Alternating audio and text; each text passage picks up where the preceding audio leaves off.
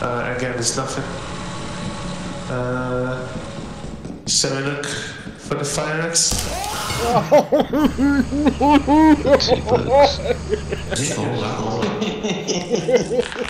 I thought that was I thought that was the left.